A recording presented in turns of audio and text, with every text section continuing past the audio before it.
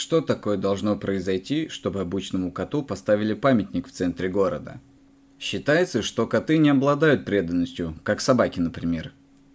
Что они самовлюбленные, ленивые и наглые. Наш сегодняшний герой доказал, что кошки преданы своим хозяевам не меньше, чем собаки. Эта история началась 2 октября 1985 года, когда глава семейства Синишиных, возвращаясь с работы, нашел в своем подъезде крошечного сиамского котенка, которого кто-то из соседей просто выбросил. Николай Васильевич забрал котенка к себе домой, где уже жил пес по кличке Тимофей. Малышу дали имя Семен. Он быстро очаровал все семейство Синишиных и даже с Тимофеем завел дружбу. Однажды случилась трагедия. Тимофей ходил провожать хозяина до работы, но на обратном пути собаку сбил автобус. Все были ужасно расстроены из-за гибели Тимофея. Но больше всего горевал Семен. Он несколько дней ничего не ел, сидел возле двери, кричал и жалобно звал Тимофея. Он ждал, что сейчас его друг вернется. Вопросительно смотрел своими чудесными голубыми глазами и не понимал, почему собака не возвращается. Через несколько дней семья собралась на отдых в Крым, в гости к родственникам. Семена было решено взять с собой в долгое путешествие – Дорога домой в Мурманск была очень долгой и утомительной. В Москве Синишины немного заблудились и несколько раз останавливались, чтобы узнать дорогу.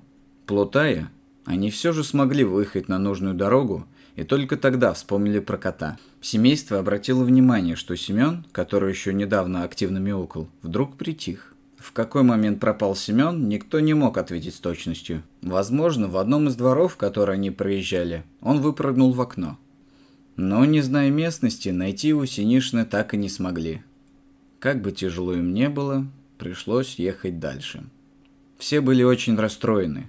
Долгое время в машине царила тишина. Было очень жаль кота, но найти его в Москве просто невозможно. Поэтому Синишным пришлось найти в себе силы смириться еще с одной горькой потерей. С того времени прошло шесть с половиной лет. Николай Васильевич утешал себя тем, что их любимец остался в Москве. Он надеялся, что Семен попал в добрые руки, и жизнь его стала лучше прежней. Семена в семье часто вспоминали. И вот в феврале 1994 года в квартиру Синишиных позвонила соседка и загадочно улыбаясь сообщила, что пришла не одна. В руках у нее был страшно худой облезлый кот. Пальцы его были сильно обморожены, и на них совсем не было когтей. По светлым пятам на шерсти и темным ушам хозяйка квартиры поняла – что это сиамский кот. Его почти невозможно было узнать, настолько он изранен. Но Алевтина Михайловна догадалась, кто вернулся домой.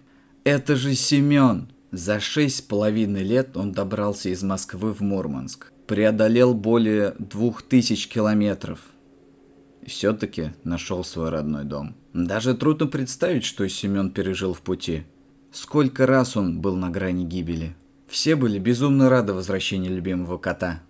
Рассказывали об этом чудесном возвращении друзьям и знакомым. История воссоединения Семена и его хозяев оказалась настолько необычной, что мгновенно распространилась и дальше. Вскоре в семье Синишных побывали корреспонденты Мурманского вестника и Комсомольской правды.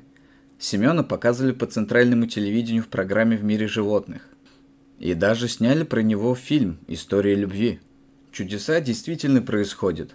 Эта история закончилась счастливым воссоединением верного кота и его хозяев спустя шесть с половиной лет. За свою героическую смелость, любовь и преданность семье, в которой он жил, кот Семен был удостоен большой чести. В память о нем в Мурманске был открыт памятник, как напоминание о чистой и искренней любви домашних питомцев к своим хозяевам, которые, несмотря ни на что, преодолевают любые расстояния.